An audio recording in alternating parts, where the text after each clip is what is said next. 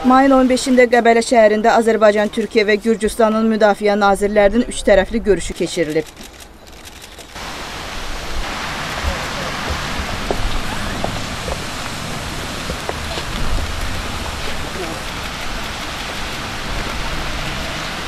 Görüşdə nazirlər regionda cərəyan edən hərbi siyasi vəziyyət və təhlükəsizlik məsələləri ətrafında fikir mübadiləsi aparıb və hərbi sahədə əməkdaşlıq üzrə bir sıra qarşılıqlı maraq doğuran məsələləri müzakirə ediblər. Danışıqlardan sonra kütləvi informasiya vasitələri nümayəndələri üçün brifinq keçirilib və müdafiə nazirləri üç tərəfli görüşün yekunları barədə medianı məlumatlandırıblar. Mətbuat konfransında Azərbaycanın müdafiə naziri general-polkovnik Zakir Həsənov Qəbələ şəhərində üç tərəfli formatda keçirilən dördüncü görüşün əhəmiyyətindən danışıb. Nazir Zakir Həsənov qeyd edib ki, iki tərəfli və üç tərəfli görüşlər zamanı Ermənistan-Azərbaycan Dağlıq Qarabağ münaqişəsinin tənzimlənməsi ilə bağlı məsələlər, xüsusən də son zamanlarda münaqişə zonasında gərginliyin artması ətraflı müzakirə edilib. Münaqişələrin sülh yolu ilə həllinin zəruriliyi və bir-birimizin suverenliyi, ərazi bütövlüyünə qarşılıqlı beynəlxalq hüquq normaları çərçivəsində yanaşmanın vacibliyi bir daha qeyd edilib. Mətbuat konfransında Türkiyənin Milli Müdafiə naziri İsmət Yılmaz jurnalistlərin suallarını cavablandırarkən Türkiyə Silahlı Qüvvələrinin komandanlığının Azərbaycanın Müdafiə Nazirliyi ilə həmrəy olaraq Azərbaycana, eləcə də onun silahlı qüvvələrinə dəstək olduqlarını bildirib. Türkiyəli nazir deyib ki, Azərbaycan öz hərbi gücünü artırmaq və müdafiə sahəsini gücləndirmək əzmində olan ölkədir. Türkiyə Dağlıq Qarabağ münaqişəsinin həllini Azərbaycan qədər istəyir.